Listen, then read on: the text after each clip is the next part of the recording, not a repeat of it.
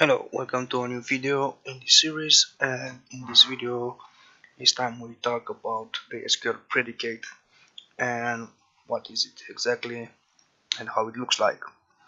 Um, the, SQL predicate, if you remember from our overview session, uh, is uh, exists in the data securities. Right, so it is used in data security and at its core has an SQL code.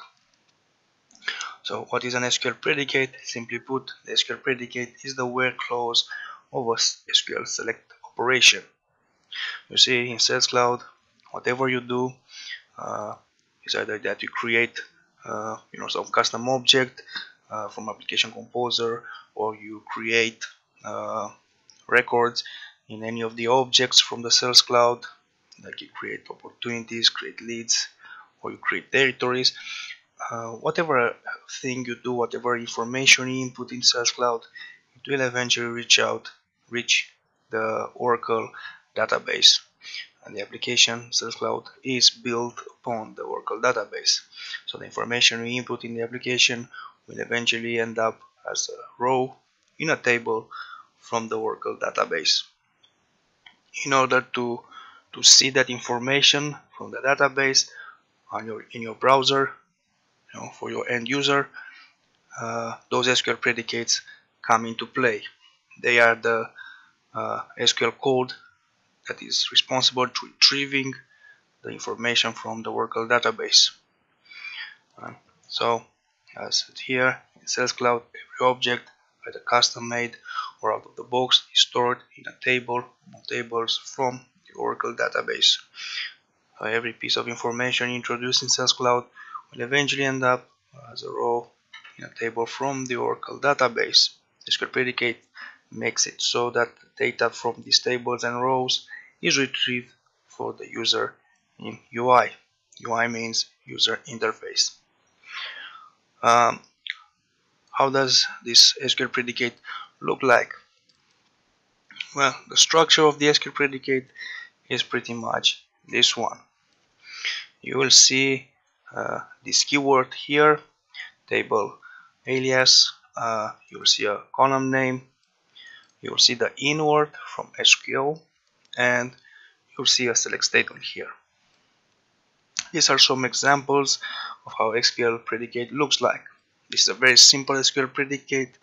It was created for custom object and the purpose was to retrieve to the login user only those custom object records created by the login user. Uh, this is also an SQL predicate for custom object and the purpose here was in that custom object there was a field uh, dynamic choice field that was pointed to accounts in the account uh, the sales team uh, had the login user so the requirement was that the user that is logged in should see only those custom record objects custom records, uh, custom object records that have an account associated with them and in the system of that account the login user is present. This is actually uh, an SQL predicate that's out of the box. It comes from the uh, account uh, uh account object and you see it has a slightly different uh, syntax but if you look carefully you will see here the same table alias right so this is these are three examples and we will learn how to build such a such code.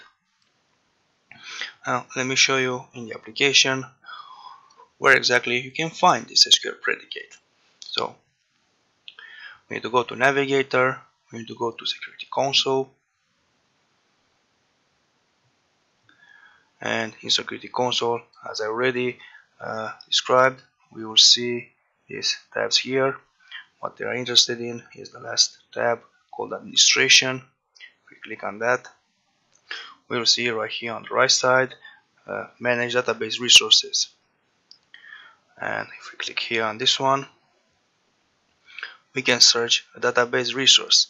Database resources are a fancy way of saying objects Basically, database resources are application objects. like opportunities like this custom object here like activities like accounts right? so for example if I want to search for for this custom object that I have here called OSC sales op I can simply put that name here hit search and should retrieve me that that object right here. Now if I edit this object we will see the details of this object or of this database resource as it is called. We have some general information some columns uh, for this object. I mean these are the columns from the database in which the information that we input in this object is stored uh, here on this tab condition. This is where you actually see the SQL predicates. And all of these are custom made. Uh, for custom objects you won't have any any SQL predicate here. Uh, and if we edit one of these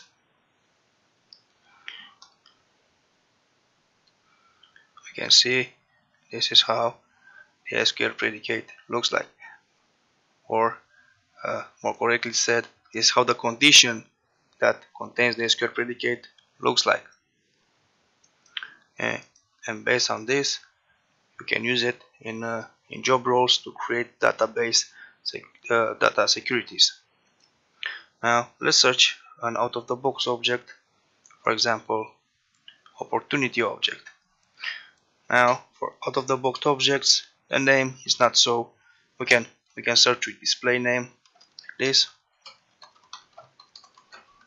And it should retrieve us. The opportunity object. Now here the names are a bit more tricky but if you pay attention you can figure out which one of these is for the opportunity. Well all of them are for the opportunity but I I want the one for the uh, header basically. Not for opportunity revenues or anything just the opportunity and this is the first one here. This is actually the name of the table from the database in which information uh, the records of the opportunity are stored. If we edit this one. Again we have the information about the tables columns. Again we have the condition here and here.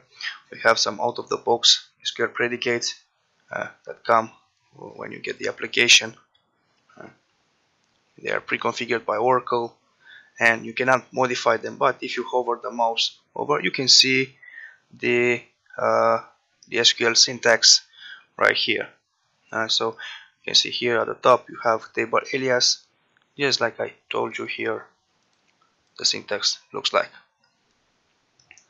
Uh, and the syntax can have different forms different formats uh, regardless of that if you pay attention to it you will eventually see this pattern uh, with table alias column name and uh, SQL statement. Well this will be uh, this is what we will learn. Next we will learn to build our first SQL predicate. So I'll see you in the next video. Thank you for watching